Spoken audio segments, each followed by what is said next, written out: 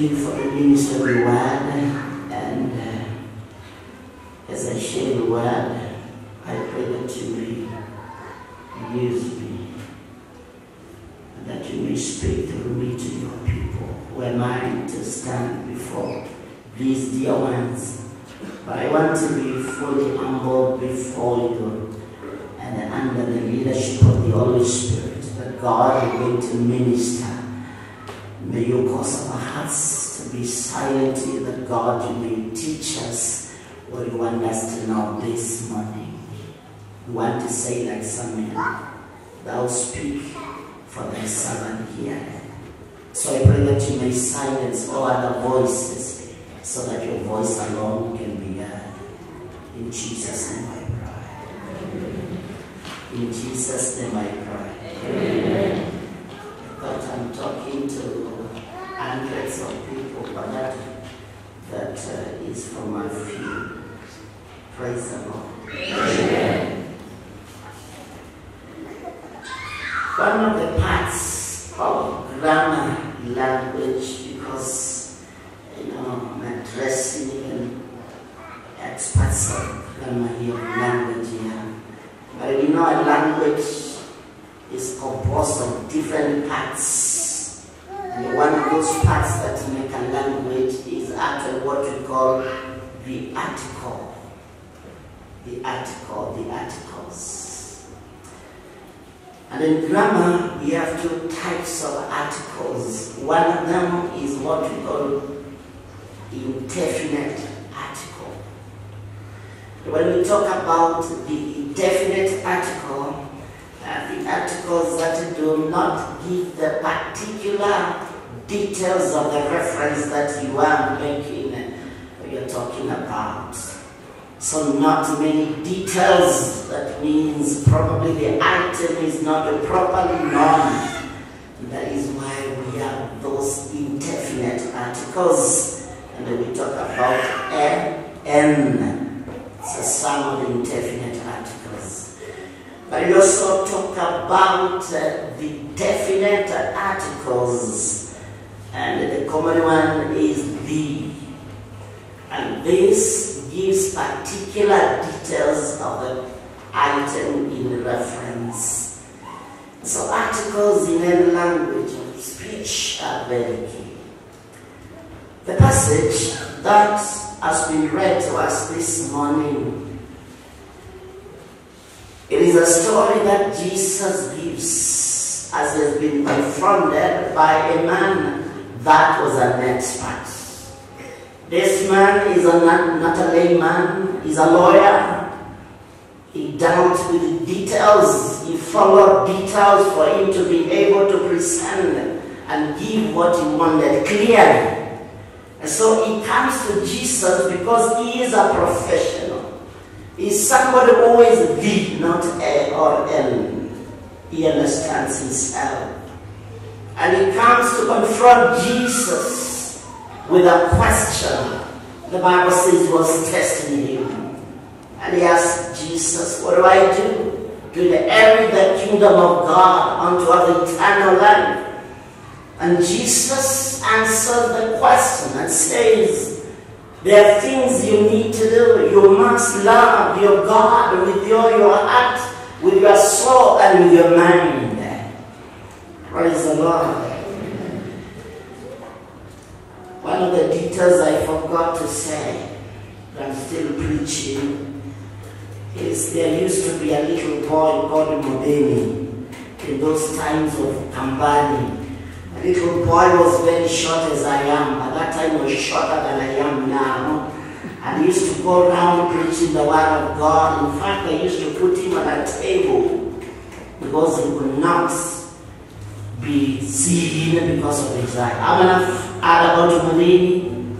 Oh, your boy recently. I'm gonna add Why don't you talk to me? Why do you hate me? do you want me to speak to you?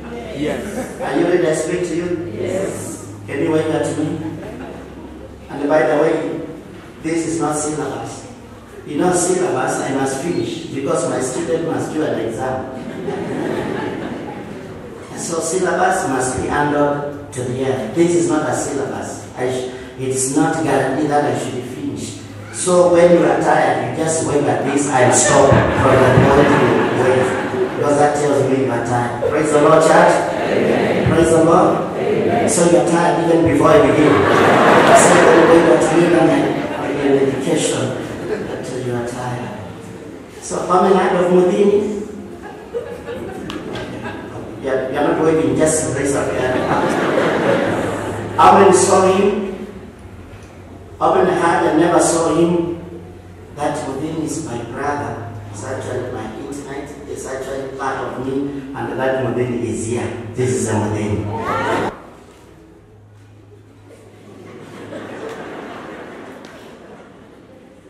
Jesus tells him, you must love your God your heart, with your soul, and with your mind. The man looks at Jesus and says, Jesus, the truth of the matter is I have accomplished that. Jesus says again, you also must love your. Please walk with me. I told you about teacher. Please walk with me. Are you with me, church? He also says, love your. And I'm not yet done. My minutes are very few. I don't even need to refer my notes because I know I won't finish whether I like it or not. You ate my minutes, but why did you eat them? Praise the Lord. Love your among us. Jesus, praise my neighbor? And then Jesus answers this question from a familiar point of view. And he says, a man. A man. You know, the fact that we hear a man a lot runs in our minds. What Jesus is he talking about? Because this is too general. What is he saying? Jesus begins this story from the unusual point of view. A man. Nothing of particularity is mentioned about this man. When the identity of the man was not given, whether Jew, a Samaritan, a Gentile, it's not said, it's simply a man. The occupation of the man is not given. Whether he was a lawyer, whether a doctor, whether a teacher, whether a pastor, even a businessman, or even jobless, it is not said simply a man. His religion that's not a picture anywhere. Whether he was a Christian, whether Buddhist, whether non-believer, whether Catholic, whether AIC like you and me, it is not said simply a man. His social status is not even quoted. Whether he was rich, whether he was poor, whether he was famous, whether he was educated or illiterate, simply a man. His place of residence does not appear, is not quoted. Whether he lived in a posh place, name them, you know them. Whether he lived in slums, it is not mentioned. Simply a man. His political ideologies are not quoted anywhere. Which party he belonged to, whether ODM, Wiper, Jubilee, name them. Simply a man. All that Jesus says, a man was going down from Jerusalem to Jericho. Genesis chapter number 1 and verse number 26. Bible says, let us make man in our own image and likeness. The key we find in this verse, let us make man in our own image and likeness. God says, let us make man in our own image. The fact of image is it talks of the characters, the characteristics that are key And when we speak about the image, is man as the characteristics of God, and that is what God wanted man to have, so that as He gives him the responsibilities, the roles, what he is to do, then he bears the, uh, the image of Christ, the image of God, so that wherever he's going to be blessed, God is also going to be part of man. Praise the Lord. What are some of the characteristics of God? We say God is love. We don't say God has love. We say God is love. First John chapter number 4 verse 8. It talks about God is love. And therefore God wanted the aspect of love to be part of man. So that even as he mingles in the character, I mean in the in the company of others, this love of God is also going to be felt. Image of God.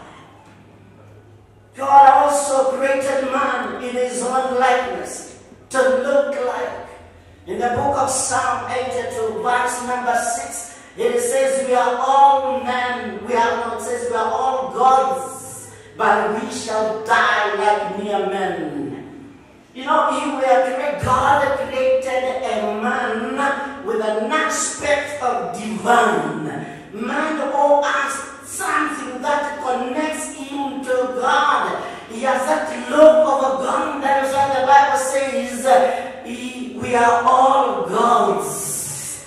We may not match the supreme God, but man was created with an authority, with a power, whereby he commands even animals to hear him, because the godless part of God, that, in, that likeness is in him. A man with an image and likeness of God. Friends, I wish to say, all are equal before God. And so Jesus presents to us a man without anything else before God. And I to repeat this. Jesus presents a man to us without many details because the rest will follow later. That's where the story begins. And it begins how? A man. And I wish to make a proposal. I wish to propose some things before I see it. Number one, God looks at us the same. God looks at us the same.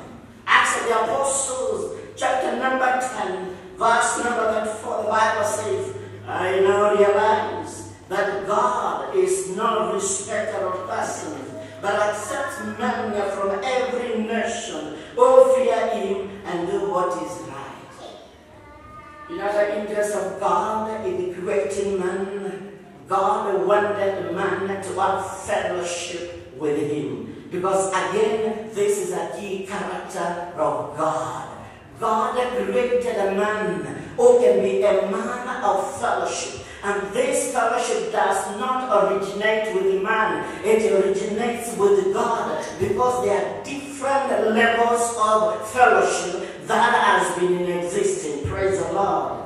Level number one is of fellowship is between God and God. That's why the Bible says, let us. For nine times, God says in the creation, let there be. And things were there. There was water, there were trees, there were rocks. For nine times, God says, let there be. But when it comes to ten, the tenth time, the language changes from let there be to let us.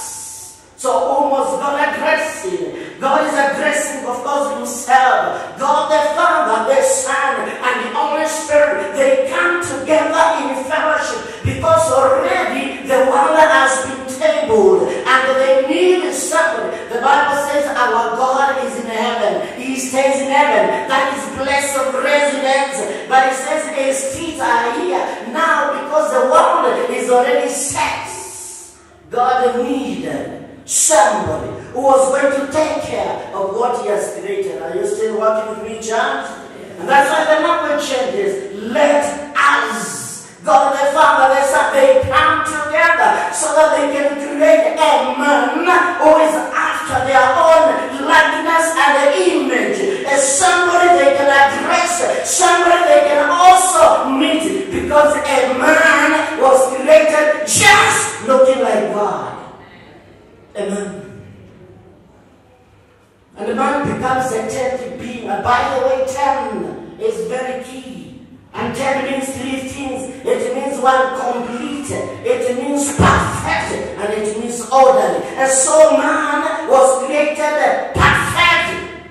He was created complete. Wonder the Bible says in the book of Ecclesiastes chapter 7 verse 29 it says God created man upright. That means man was created complete one because God takes some soil, He takes some water, He makes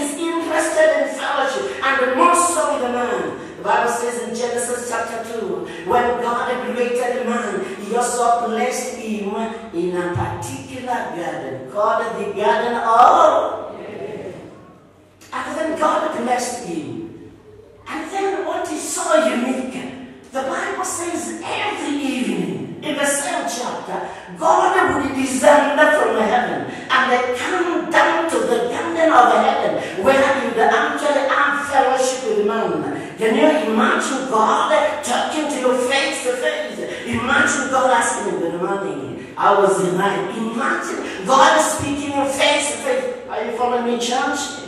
That is the scenario. Because when God made a man, He made a man that they can fellowship, a man they can enjoy one another. And so you will be there, talking. I would imagine having been asked, is there any problem? I don't think there was need to pray that time. Because the one to be prayed was always available. God will come. The man did not need to go and make a prayer. Because the honor of the prayer is available every evening. Oh, isn't it beautiful? The fellowship. Oh, Pastor, your people don't talk that. They only talk when you're talking to them. You're not sure to men have a problem. Have you accepted me to preach? Yes. Have you accepted me? Yes. Are we together? Yes. Fellowship. And so, you know, every evening, God would go back to heaven. So what happens after his departure? Manna would be left alone. And you can imagine the loneliest years because God has gone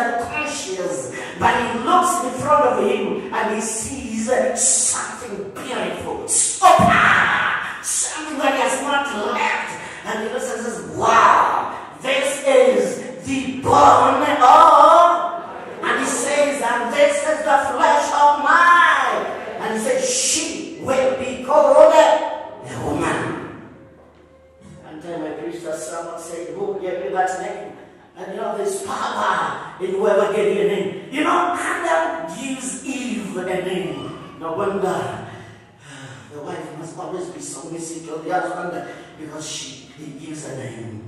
Pastor, are you sure you've seen? So Eve gets a name and she becomes an heir. She becomes an heir. Woman. Now, the thing is, now the fellowship moves to that level between man and man. Now they can fellowship. Even when God is not there, they can fellowship. They can talk together. No wonder we can come to church where we can fellowship with a man can fellowship with a man. A man can talk to a man. A man can pour himself to a man. Because God created a man also with an interest of fellowship. Are we together, church? Yes. So, began by fellowship number one. Number one, God to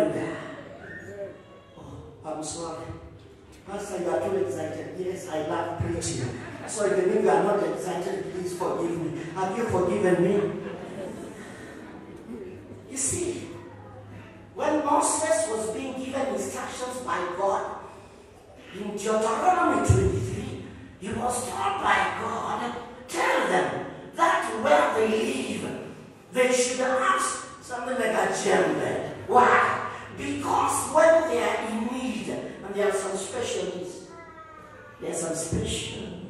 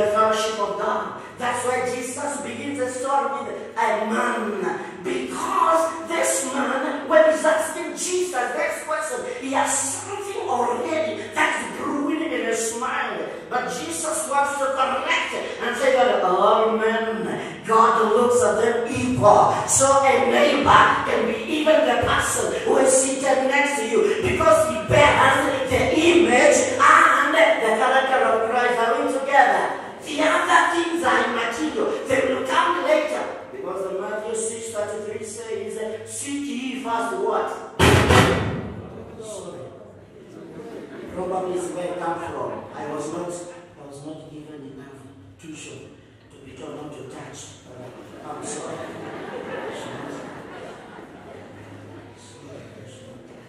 Praise the Lord. Seek ye first what? And the what? And then, you know, these other things we need, they come later. And they begin when our fellowship with God is made available.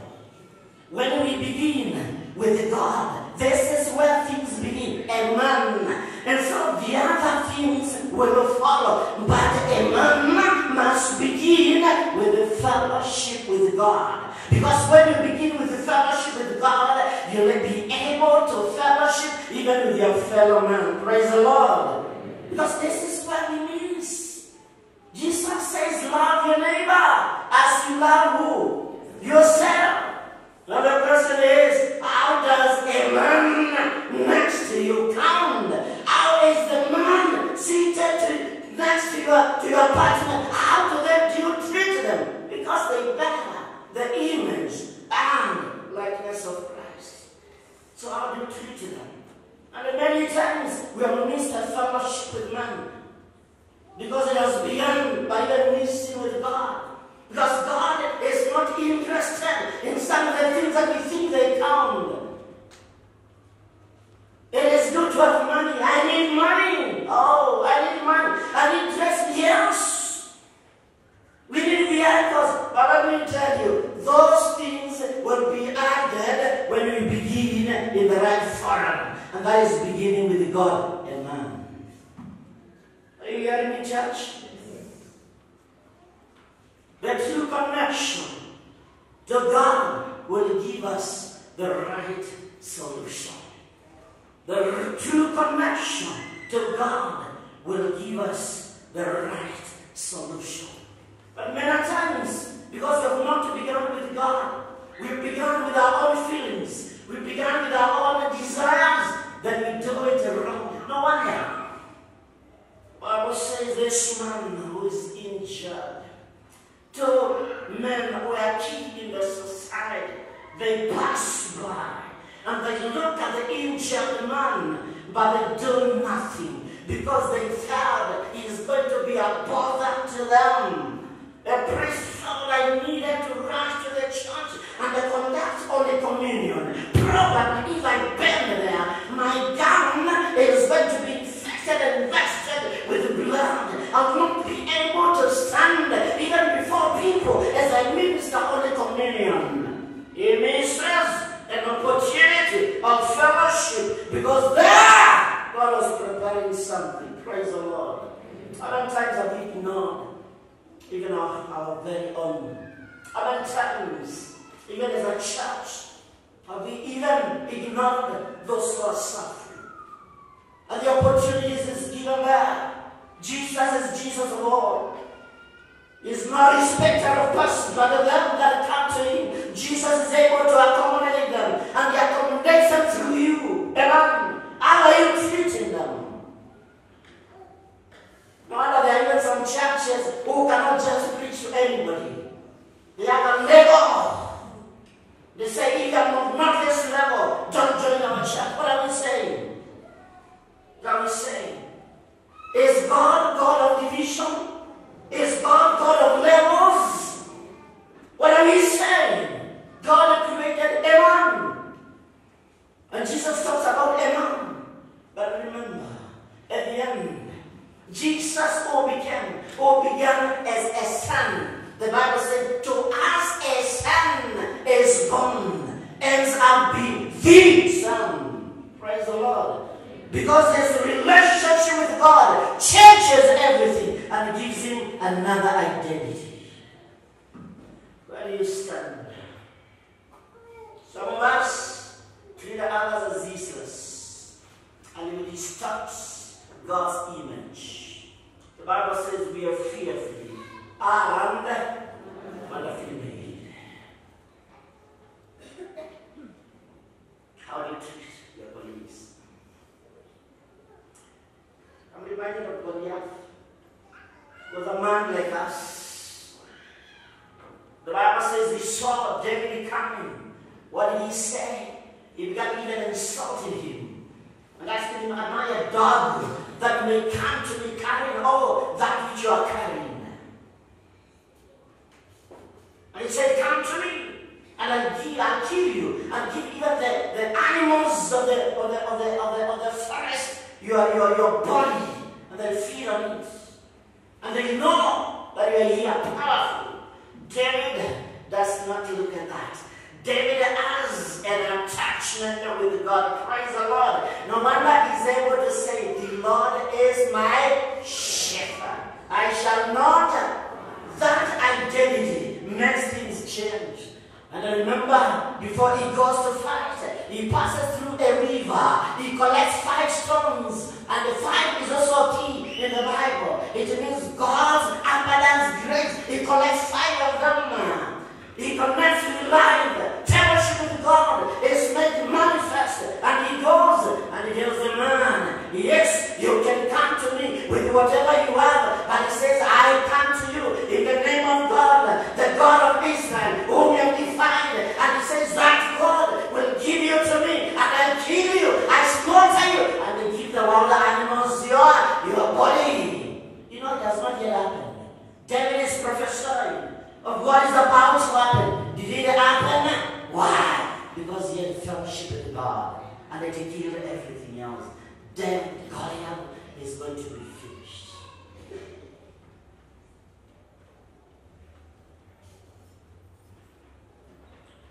It is important that you colonize the other people. For God created them with a purpose. Number two, we are on a journey which is not easy. And this journey is full of robbers. Now, the Bible says a man was going down from Jerusalem to Jericho. Now, that way to Jericho was not an easy journey. Robbers were all over, and many people got attacked. Even got killed. There was a warning as you go down that journey. Don't go alone because all manner of people are there. People can expose you to the wickedness. Friends, because my time is done, we are on our journey. And the climax of this journey is where we shall go to unite with our God and live with Him in eternity. Did you hear me well? But before we get there, I tell you, the journey is not easy because devil wants to expose you. He has his own ways of exposing people. Why? When they fail to have fellowship with God, devil is out to expose them. And some have been exposed. But what happens after that exposure?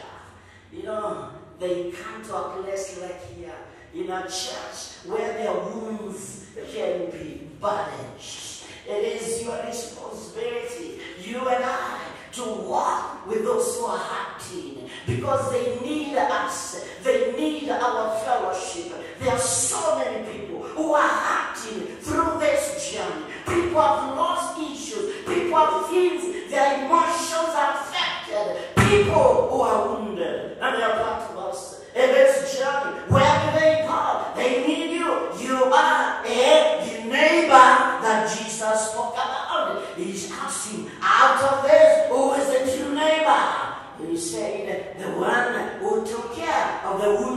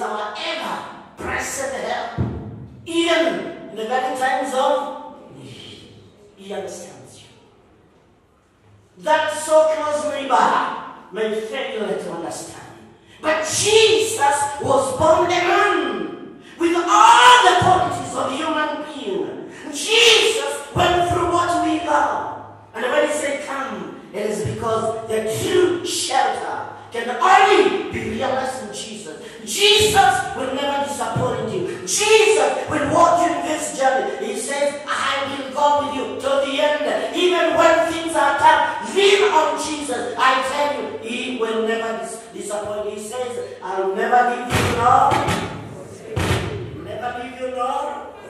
that is the Jesus. And I praise you today. When he says, Amen, Jesus knows was awaiting him. And Jesus speaks to people, taking them to him because it's the best. It's the best neighbor. It's always a value. 24 7.